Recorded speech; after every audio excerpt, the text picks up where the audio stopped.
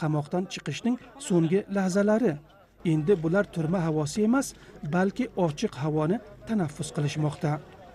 Mashhur pulicharxi qamoqxonasi tashqarisida o'z yaqinlari bilan birlashish uchun kelganlarning intizori mahbuslarni toshiyotgan mo'tarning maydonga kelishi bilan nihoya topdi. Davlatga ko'ra terroristik faoliyatlar bilan qo'lga olinganlar ozod etilmoqda. Mahbuslarni afg'onistonning turli hududlaridan kelgan qarindoshlari kutib oldi.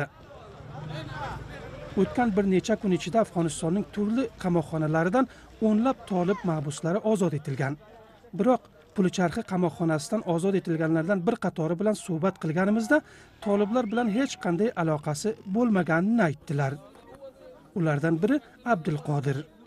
Hükümet ve elbette Toliblarga non Talib'den beri yok neydi, Talib'e kömek yok neydi.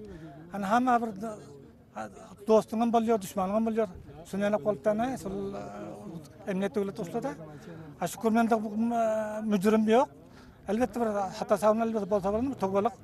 Ha şükür bana vazifamni safar ettim.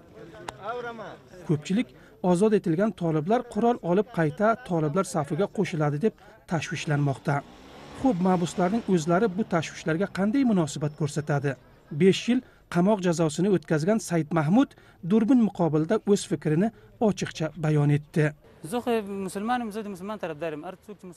men musulmonman musulmonning tarafdoriman u kim bo'lishidan qat'iy nazar tolibonmi va yo boshqami biz doim musulmonlarni himoya etamiz islom yo'lini taqib etmoqdamiz otam ham o'ldirilgan tanlagan yo'limizdan ortga qaytmaymiz. Bugun ertalab e, o'nlab e, tolib pulicharxi qamoqxonasidan ozod etilishi kutilar edi lekin soatlarcha bu yerda kutib qoldik ularning ozod etilishidan hech qanday xabar bo'lmadi. Lekin mana bu e, kecha qorong'i kechada o'nlab tolib mahbusni ozod etilishiga shohid bo'ldik. Toliblar esa davlatning bu qarorini xush qarshilab mahbuslarning ozod etilish jarayonini davom ettirilishini ta'kidlagan ularning bayonotiga ko'ra qo'yib yuborilishi va'da qilingan qarib to'qqiz yuz kishidan faqat ikki yuz oltmish bir nafari tolibdir. Hozir davlat qamoqxonalarida minglab jangari tolib a'zolari saqlanayotgani aytiladi.